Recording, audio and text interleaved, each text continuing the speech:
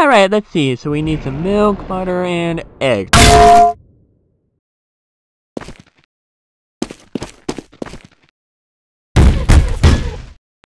Hey, uh, boss, we got the target.